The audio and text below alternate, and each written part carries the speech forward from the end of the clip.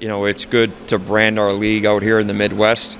Obviously, you have some other leagues out in this area, but I think, you know, our league's growing. Um, being out on the east, surrounded by some of the best schools, you know, it's a no-brainer. And you know, it's a facility that hosted this event we're at right now last season. You look at this NCDC Chicago Combine. Can you talk about the recruiting opportunity for you? What are you using an event like this for? Is this more of a networking event for you, or is this a, flat out recruiting mission when you're at an event like this? It's both. We went to the uh, Detroit Showcase also, and it's both are been tremendously run by the organizations that have been hosting it.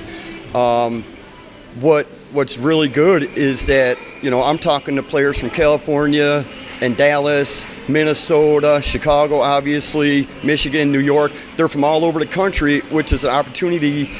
You know, with limited budgets, we can't scout during the season. We can't pre-scout a lot of these players, but we get them here and it gives us an equal footing with all the other teams that we could go in and try to sell our program and what we can offer and how we can advance their careers. So it's a great opportunity for everybody involved, including the players. Oh, it's huge. They get to come under one roof and, and play in front of 30, 40 programs. And for us, we get to come, we get to watch 200 kids in, you know, two or three days and, uh, you know, make our notes and make our decisions. And uh, it's a great event because the kids come here wanting to get recruited, so you already have an idea that they're interested, and then you just got to see which kids fit for you and which programs are fit for them. So I think, you know, pretty much every kid here will be leaving with an option for next year, and, and when you're coming to spend money at a combine, that's what you're looking for. So it's a it's a great event. It's not too big. Uh, it's got just the right amount of players, and the league does a really good job publicizing it and getting the programs in.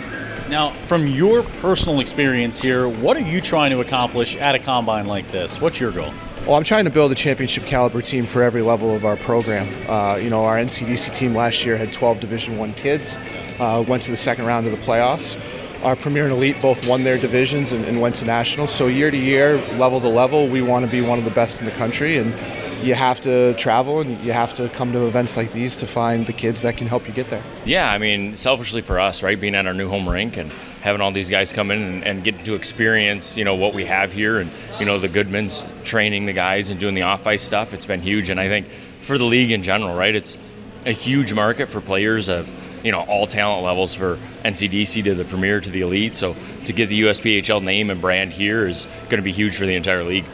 Well, in our league, we have the NCDC, the Premier, and the Elite division. Uh, we also have a midget division, but uh, the South and the Florida division, as well as in the Northeast, have this three-tier system. That's oftentimes where players start to develop because you don't want to go to a team and ride the bench.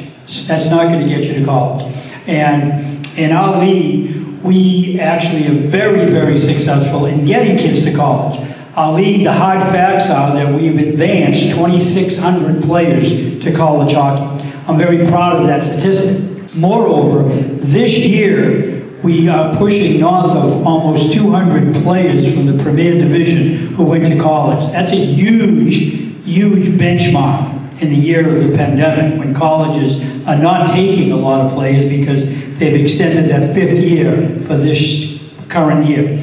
So our league has done a great job in the advancement. I'm a player, a parent at home, right? And I see these combines going on. I'm seeing social media buzzing. I'm seeing everything going on here.